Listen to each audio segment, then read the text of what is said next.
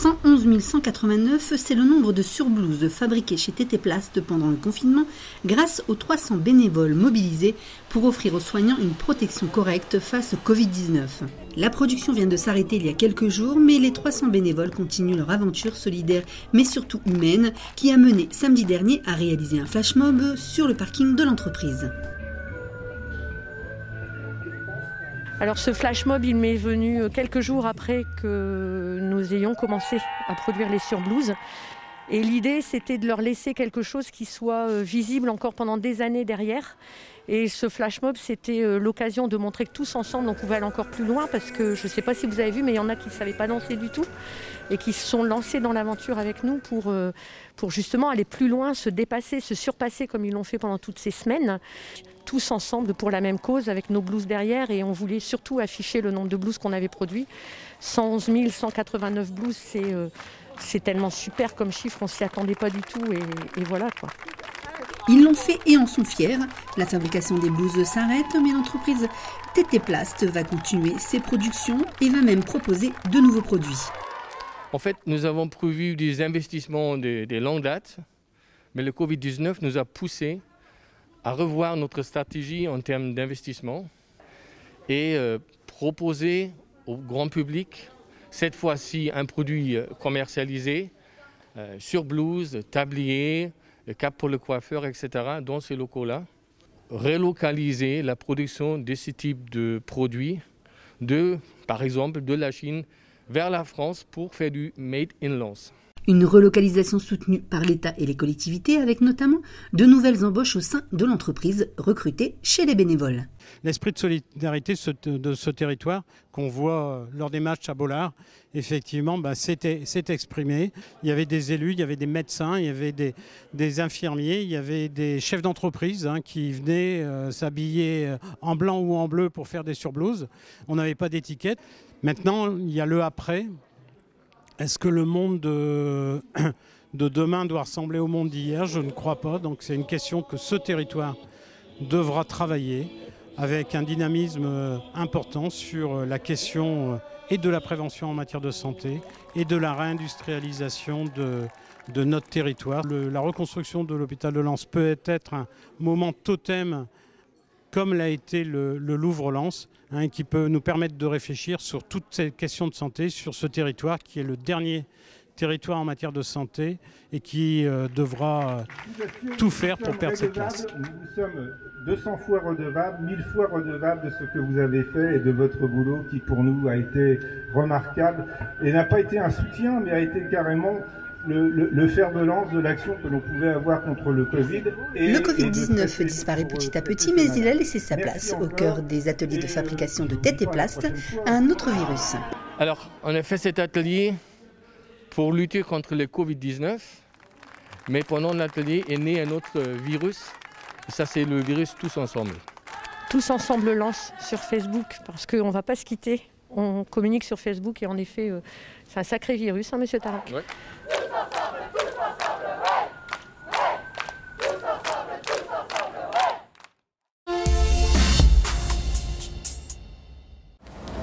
Allez, bonne matinée à vous, bon courage.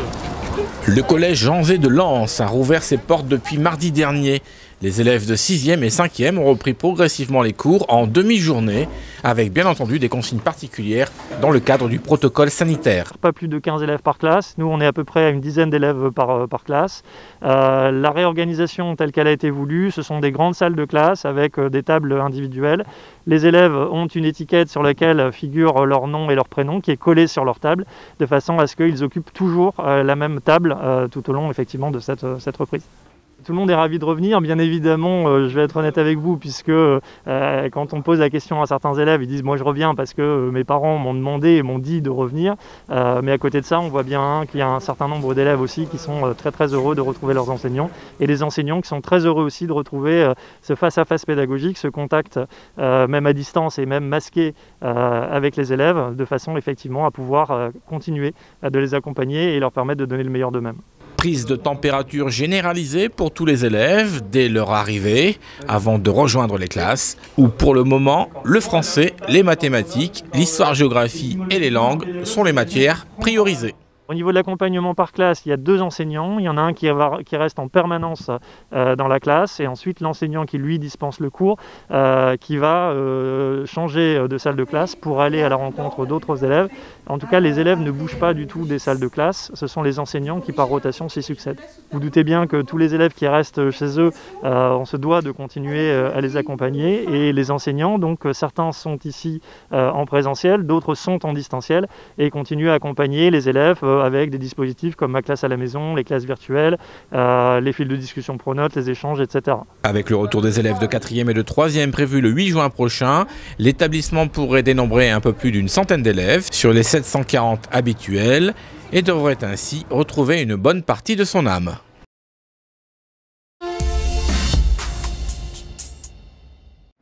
Ils ont attendu le mardi 2 juin avec impatience.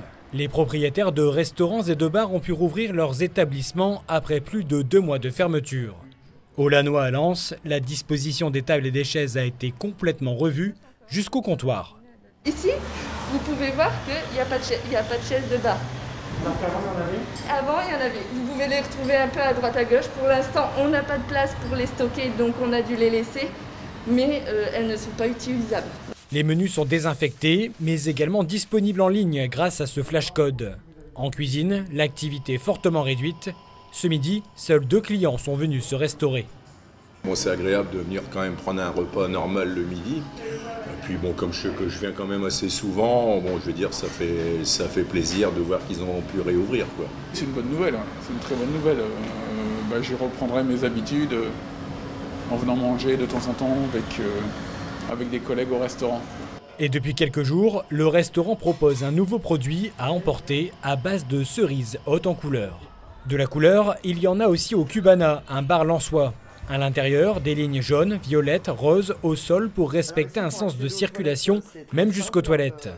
Les tables sont-elles séparées d'un mètre Sur chaque table, on indique les tables qui sont désinfectées. Ça veut dire qu'on a une petite affichette qui indique que le client peut s'installer. Et puis quand le client s'en va, on retourne simplement notre petit affichage pour indiquer au client qu'il ne peut pas s'installer pour le moment sur la table puisqu'elle n'est pas désinfectée. Les cartes sont disponibles ici sur écran géant et la terrasse est ouverte avec une moindre capacité d'accueil. Sébastien vit la reprise comme un renouveau total. Moi j'ai l'impression de rouvrir le bar. C'est l'impression que j'ai eu ça, il faut le placer à tel endroit, ça il faut remettre, il faut remettre cet appareil là ici. Euh. C'est un nouveau départ. La haute saison pour les cafés et les brasseries commence maintenant. Les clients peuvent revenir consommer, toujours avec modération.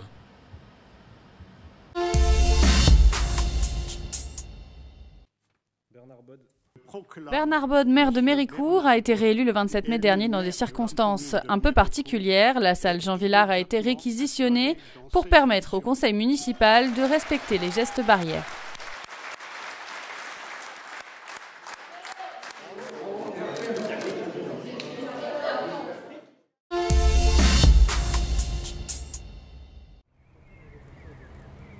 Le musée du Louvre a rouvert ses portes. L'occasion aux amoureux d'art de redécouvrir les œuvres de la Galerie du Temps. Une visite sous certaines conditions, port du masque, désinfection des mains, sens de circulation, des dispositifs sanitaires qui n'ont pas empêché le public de profiter de cette première journée. C'est une journée importante et joyeuse pour nous de retrouver les publics. Un musée sans public, c'est un musée qui ne vit pas. Et on est très très heureux de, retrouver les visiteurs qui portaient le masque tel que c'est euh, demandé et euh, qui ont pu arpenter les sens de circulation qu'on a mis en place de façon facile en suivant quelques flèches et puis après s'abandonner euh, pour visiter librement et sereinement la galerie du temps. Pour la réouverture du musée, on a essayé de trouver un, juste équilibre entre, euh, euh, les dispositions sanitaires et la liberté qu'on offre aux visiteurs. Notre but, c'était vraiment d'assurer des conditions de visite euh, sereines. maîtrisées, absolument sécurisées. notre but aussi, c'est de faire disparaître tout ça pour que le visiteur n'ait pas à y penser. Ni à penser au porte-monnaie avec un petit cadeau, la gratuité du musée, y compris l'exposition Soleil Noir ouvrira le 10 juin prochain. on voulait voilà, faire un cadeau à nos visiteurs. Le musée, il ouvre ses portes aussi pour qu'on se répare tous, qu'on se confronte à la beauté, qu'on la rencontre à nouveau, qu'on voit des visages. parce qu'au musée, on voit des visages, on voit des portraits, on voit des sourires. C'était aussi important de pouvoir permettre cela. La culture, ça reste un bien de première nécessité. Nous, en tout cas, on en est convaincus.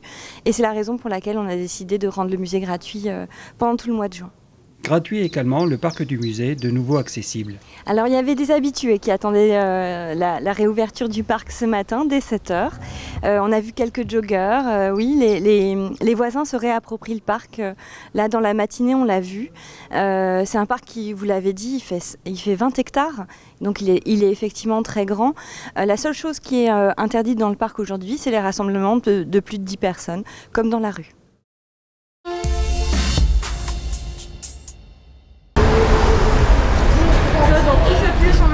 Les cafés et bars ont eu le feu vert pour rouvrir depuis le 2 juin dernier. À Lens, au McEvans, on a même retardé l'ouverture de deux jours pour être fin prêt au niveau des consignes d'hygiène et de sécurité, où la règle est très simple, masque obligatoire pour rentrer et se déplacer dans l'établissement. On ne peut pas mieux faire au niveau de la sécurité, il y a des plexis partout, tout est protégé, les toilettes, tout est aux normes. On va essayer de faire respecter euh, les règles au maximum. Voilà. Euh, les verres sont bien nettoyés, tous les produits sont euh, des produits d'hygiène euh, contre le Covid. on a fait le maximum du maximum. Quand quelqu'un rentre dans l'établissement, il doit obligatoirement avoir un masque. S'il n'a pas de masque, on, lui on en procure un. Mais par contre, celui-ci sera vendu à 50 centimes la pièce. On doit se laver les mains à l'entrée aussi du café. Nous, nous avons des chip sheets sur nous et on nettoie à chaque fois les tables et les tabourets quand les gens s'en vont pour que les prochains soient en toute sécurité. Au niveau du bar, on a fait des. Il n'y a que 8 tabourets, il y a un siège tous les 1 mètre et on ne peut pas bouger le siège. L'établissement qui dispose d'une terrasse extérieure a dû là aussi adapter un dispositif pour accueillir la clientèle en toute tranquillité. Eh bien la terrasse, euh, on a mis aussi des plexis qui sont, qui sont sur pied donc ces plexis sont modulables. Euh, s'il y a deux personnes, on met deux personnes. S'ils sont 8 ou 10, parce que c'est le maximum 10, on peut bouger, on peut moduler les tables et le plexi pour que le groupe de 10 soit euh, assis et que les autres derrière ne soient pas en contact avec ces gens. Des aménagements qui ont engendré beaucoup de frais et qui auront des conséquences sur la capacité d'accueil. La période de fermeture ayant causé une situation très compliquée chez certains cafetiers. Du côté du McEvans, on souhaite que tout rentre dans l'ordre assez rapidement. Franchement, j'espère qu'après le 22 juin, ça va s'arrêter parce que euh, malgré tout, euh, malgré euh, les plexis qu'on a mis et tout ça, on perd pas grand-chose en place assise. Par contre, tous les gens debout, tout ça, ça nous fait perdre au moins entre 20 et 30% de la clientèle. Parce que là, pendant deux mois et demi, nous, il va falloir qu'on travaille un an et demi, deux ans pour récupérer ce qu'on a perdu là sur les deux mois et demi. Donc voilà, c'est un crédit supplémentaire. Mais après, on n'y peut rien. Personne ne l'a fait exprès. Hein. Et en attendant le retour des beaux jours, N'oubliez pas que bière qui roule n'amasse pas mousse, mais bière qui mousse amasse la foule.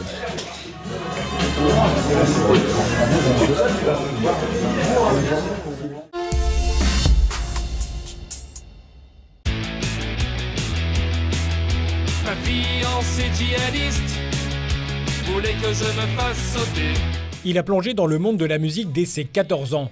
Lui, c'est Sébastien L'Hôpital. L'artiste habite Asheville et a sorti cette année un album intitulé Punk de droite. Après avoir intégré plusieurs groupes et s'être pris de passion pour la peinture, Sébastien retrouvait le goût de la musique il y a quelques années. En 2017, j'ai intégré un groupe qui s'appelait White Trash Bang Gang, Taras, qui n'existe plus maintenant. En tant, que, en tant que guitariste. Le groupe existait déjà, je l'ai intégré en tant que guitariste. Et en parallèle, je me suis amusé à enregistrer des chansons à moi. Euh, voilà.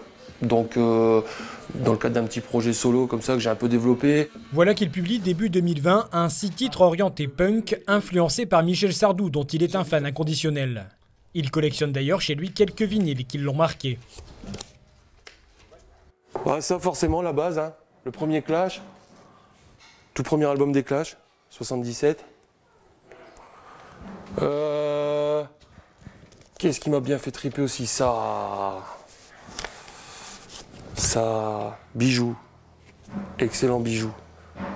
Vincent Palmer, Philippe Doga, Dynamite. Compositeur, interprète, Sébastien n'est cependant pas seul derrière ses productions. Il est entouré de ses amis Xavier, François et Olivier qui mixent ses chansons. Il a son, il a son univers qui lui est propre, on va dire ça comme ça. Et euh, après, c'est un vrai tyran en fait, il faut le savoir. C'est quelqu'un qui est très exigeant sur, lui, sur, sur lui-même, sur les autres, etc. Et- mais à côté de ça, on s'amuse bien ensemble. Preuve en est les sessions à 4 dans le petit studio à domicile que s'est créé Sébastien.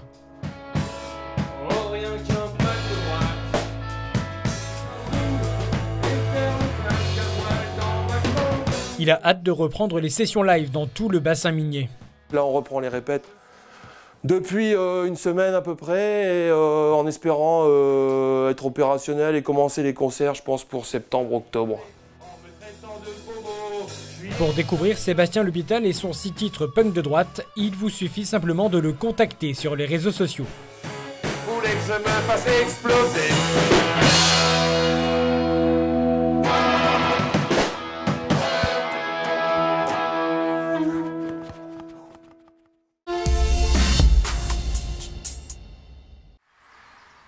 L'été approche sur Télégoël et les balades à vélo vont reprendre sur tout le territoire de Lens-Liévin. Ici, notre seul problème à Télégoël, c'est que vous le voyez, on a un vélo, mais il manque une sonnette. On a un petit problème de bouchon à l'arrière. Alors on va tout de suite se rendre chez un réparateur lensois pour qu'il nous répare notre vélo et profiter des balades sur le territoire. Et pour cela, nous allons utiliser un service mis en place par le gouvernement et qui encourage la pratique du vélo par les Français. Son nom, le coup de pouce vélo. Son avantage, pouvoir bénéficier d'une réduction de 50 euros pour entretenir et réparer son deux roues auprès d'établissements partenaires. Nous voilà justement chez un expert du vélo à Lens, direction l'atelier. Donc là, vous l'attachez pour euh, voir ce qu'il y a. Alors, en fait, y on le met sur le pied, comme ça on va vérifier un petit peu tout ce qu'il y a à faire.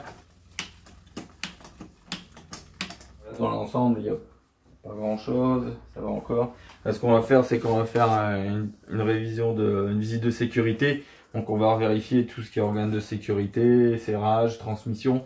Là, malgré tout, les patins sont quand même euh, déjà assez entamés. Donc, on va au moins changer euh, les patins de frein. Donc, je vais vous faire un petit devis, euh, un petit devis là-dessus. Voilà, du coup, on va s'inscrire sur le site euh, Coup de pouce vélo. Hop. Alors, je vais juste prendre un numéro de téléphone. Depuis l'annonce de cette aide le mois dernier, 30 vélos ont déjà été réparés ici. Vous êtes euh, très occupé en ce moment avec cette euh, opération? Bah, en ce moment, oui, on a reçu euh, pas mal de vélos à réparer. Donc, c'est vrai que là, ça a donné euh, un sacré engouement. Là, ouais, ils ont ressorti pas mal de vélos du garage pour faire réparer, profiter du beau temps. Et, euh, et voilà, c'est vrai qu'il y a un petit coup de pouce de 50 euros, euh, c'est toujours appréciable sur une, sur une révision de vélo. Et voilà, donc ça, ça sera pour récupérer votre vélo. Sept jours après, nous sommes déjà de retour à la boutique de David pour voir quelles réparations ont été effectuées sur notre vélo. Donc on a changé les patins avant, les patins arrière. Et on a fait euh, une bonne révision euh, générale. Donc on a vérifié euh, tout ce qui est euh, organes de sécurité. Donc serrage pédalier, roues, dévoilage des roues, la direction, passage de vitesse. Tout est bon, il n'y a plus qu'à. Pour terminer la prise en charge, David doit prendre une photo du vélo qu'il envoie sur la plateforme. Donc au total, on est à 55,98. Déduction de la prime coup de pouce de 50 euros. Il nous reste 5,98 euros. Hop. Et voilà, s'il vous plaît. Voilà, la réparation du vélo est terminée, mais vous l'avez remarqué, n'ont pas été pris en charge le bouchon de la roue arrière ainsi que la sonnette. C'est tout de même dommage, mais rien à côté d'une facture seulement de 5 euros pour moi sur 55 euros, un gain non négligeable. Pour profiter du service, toutes les informations sont sur coupdepoucevélo.fr.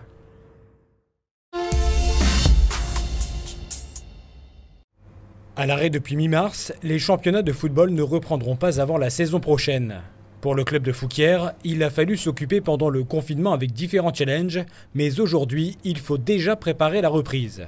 Les licences devraient arriver cette semaine, donc on va mettre en place euh, dès la semaine prochaine euh, en place les licences, le renouvellement de licences, avec, en gardant le, protocole des gestes barrières. Les licences pour tous les licenciés, oui, donc ça va des 6 aux, vétérans, aux dirigeants, arbitres du club aussi, parce qu'on a, a des arbitres. Les entraînements pourraient reprendre, mais les règles sont particulières pour le moment. Pas plus de 10 personnes sur le terrain. Et c'est dans ce contexte particulier qu'a été recruté Grégory Brocal, nouvel entraîneur de l'équipe senior de Fouquier. Champion de D2 avec Noyel Godot, artisan de la montée de Kiri Lamotte, il a tout pour faire grimper Fouquier dans la division supérieure. Ah mais moi je crois à la culture de la gagne. Euh, si on perd euh, perdant euh, avant un match, on a de grandes chances de le perdre le match. Par contre si on gagne on perd avec un esprit de gagnant, on a de grandes chances de le gagner le match. Et c'est quoi votre objectif du coup avec pour la saison prochaine? Ah, La saison prochaine c'est la montée. C'est sûr? Ah non, rien n'est sûr dans le football. Rien n'est sûr dans le football. Mais on va travailler pour jouer la montée la saison prochaine en Détroit. Le SC Fouquier devrait de nouveau refouler la pelouse du stade Léo Lagrange à la fin août les dimanches après-midi avec les premiers tours de la Coupe de France.